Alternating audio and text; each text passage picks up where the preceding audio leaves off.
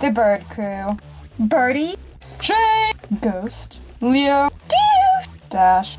But let's flash back. Ugh. High school. Ugh. To where it all started.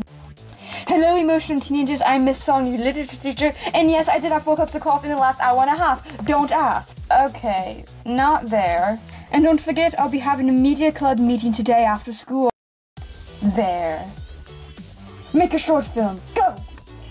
In short, it started with a coffee addicted literature teacher, a nerdy fangirl, a pineapple loving loser, a demonic psychopath, an antisocial bookworm, a hipster artist, and a geeky inventor.